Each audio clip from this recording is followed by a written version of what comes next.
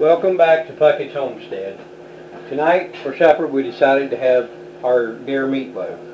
Really good, it's easy to make, so we thought we'd show you how. First thing you're going to need is two pounds of ground deer meat.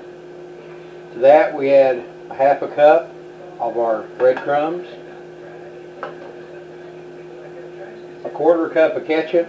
Now I would add more, but I've got a picky eater who doesn't much care for ketchup. To that I need to add two eggs, a half a cup of chopped onions and bell peppers, so it's a quarter cup each. I just didn't separate them out. Next we add one teaspoon of salt, one quarter teaspoon of thyme, and one quarter teaspoon of marjoram. Now we're going to mix this. Now a lot of people will say I, you can use a mixer or whatever.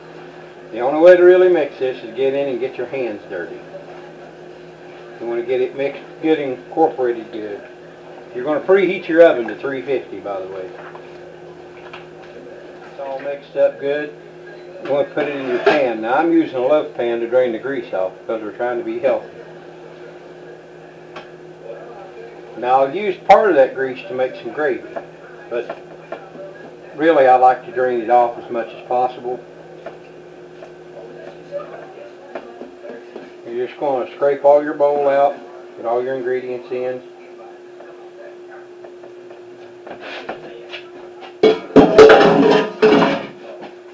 Sorry, pat that all down good.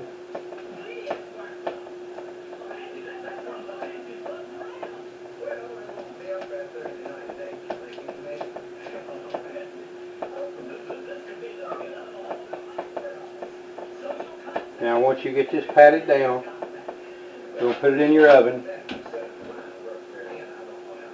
And you're going to cook this for one hour. Now if you want to put a topping on it, you can cook it for 45 minutes and then put a, a topping on it.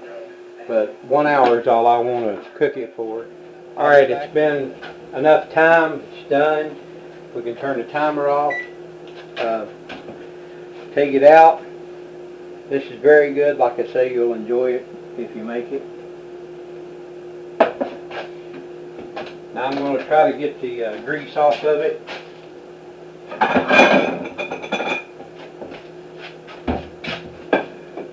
I'll put it in our serving platter.